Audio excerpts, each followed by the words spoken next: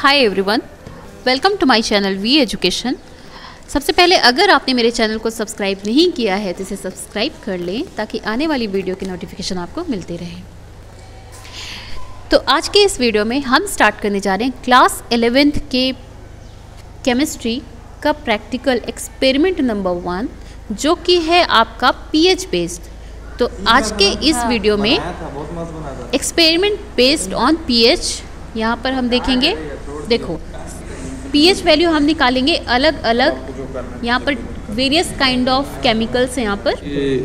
तो सबसे पहले स्क्रीन पे दिख रहा है ये है टोमेटो फिर है यहाँ पर लेमन और ये एजुकेशनल वीडियो के लिए ये रहा आपका डिटर्जेंट एजुकेशनल ओके ये डिटर्जेंट अब क्या करना है? इन सबको ना हमें इसका एक्सट्रैक्ट निकाल लेना है तो देखो सबसे पहले ना हम लोग ये नींबू का एक्सट्रैक्ट निकाल लेंगे देन टोमेटो का जो एक्सट्रैक्ट है उसको निकाल लेंगे फिर उसके बाद इस डिटर्जेंट को वाटर में डिज़ोल्व कर लेंगे और साथ ही साथ यहाँ पर हम एसिड भी ले रहे हैं।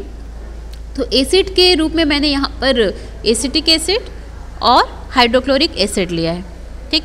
जैसे कि आप सभी को पता है, acetic acid is a weak acid और hydrochloric acid is a strong acid, ठीक है? तो यहाँ पर जितने भी हमने यहाँ पर एक्सट्रैक्ट लिए, केमिकल लिए, डिटर्जेंट लिए, इन सब का हमें पीएच वैल्यू निकालना है। जिसे हम बारी बारी से करेंगे ओके तो जो फ़र्स्ट बीकर दिख रहा है, इस फ़र्स्ट बीकर में है आपका क्या?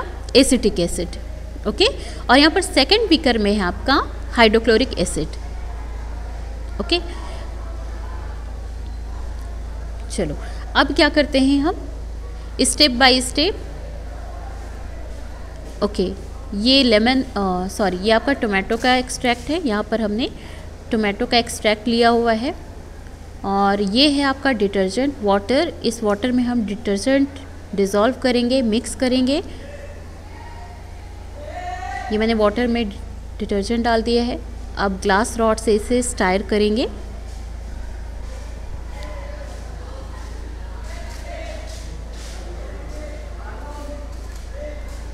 ओके।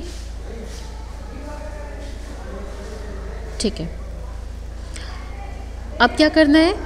अब इन सबको हम ना अरेंज कर लेते हैं और स्टेप बाय स्टेप सबका पीएच वैल्यू निकालते हैं। ओके ठीक।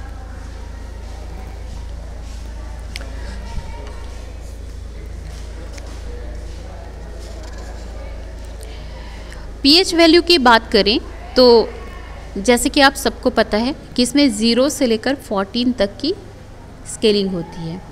ठीक है? ज़ीरो से लेकर सिक्स तक। ये पीएच वैल्यू रिप्रेजेंट करता है एसिड का। ओके? मतलब ज़ीरो से लेकर सिक्स तक ये एसिडिटी को रिप्रेजेंट करेगा। सेवन नंबर न्यूट्रलिटी को रिप्रेजेंट करता है। आ, जैसे कि आपका वाटर हुआ है ना? तो वाटर का पीएच वैल्यू कितना होता है? सेवन होता है। क्यों होता है? क्योंकि ये हमारा न्यूट्रल है। ओके? और एट से लेकर फोर्टीन तक के जो वैल्यू होती है, वो होती है हमारी क्या? एल्कलाइन की।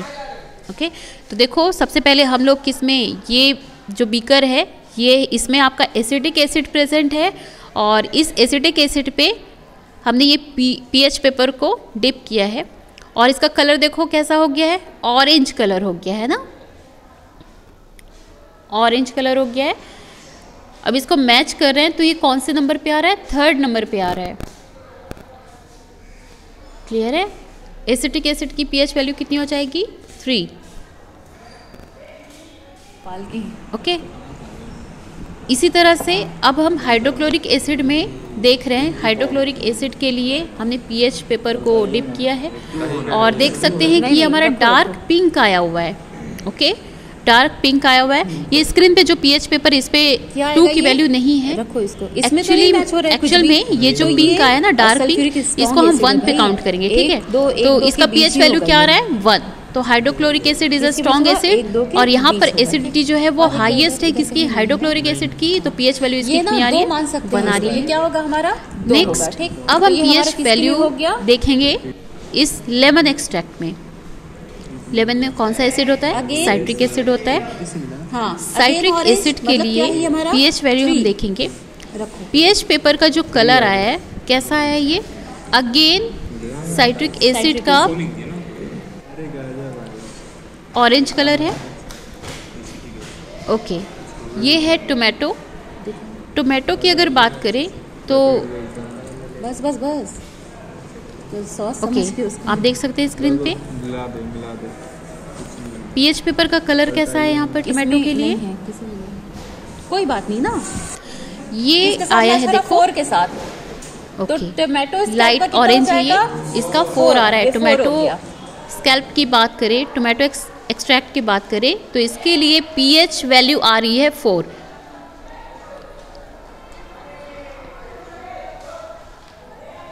अब यहाँ पर ये मैंने क्या किया है? यहाँ पर हाइड्रोक्लोरिक एसिड को ओके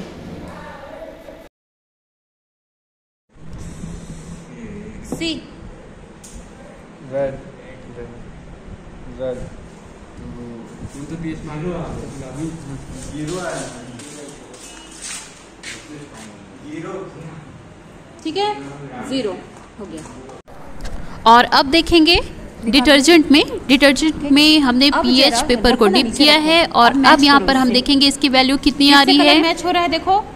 ये आ रहा है मैच रहा कलर ट्वेल्व। 14 में हो रहा है।